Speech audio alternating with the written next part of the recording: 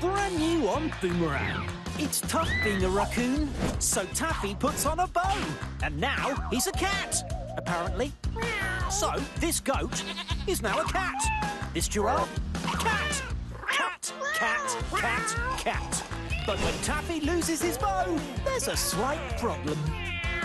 Raccoon! Don't miss brand new Taffy, your favourite raccoon cat. Starts next week at 4 on Boomerang.